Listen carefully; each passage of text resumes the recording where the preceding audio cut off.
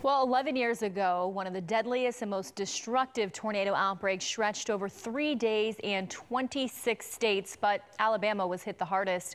On April 27, 2011, 62 tornadoes formed throughout Alabama over an 18-hour period. They created more than 1,200 miles and $4.2 billion worth of damage that day. 253 people died statewide, including more than 100 North Alabamians.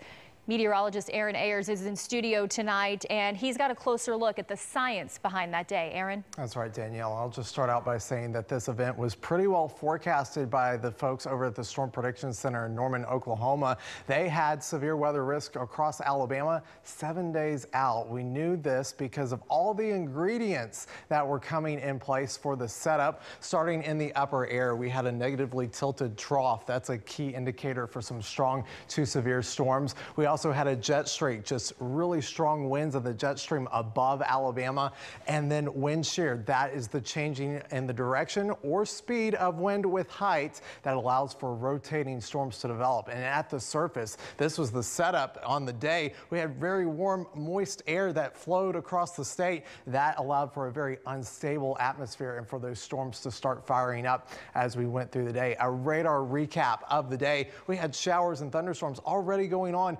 early the Wednesday morning as we rolled through the early morning hours. That was round one. We had three rounds of strong to severe storms. Round two came through the middle of the day with more supercells supercells starting to fire up across northern Alabama.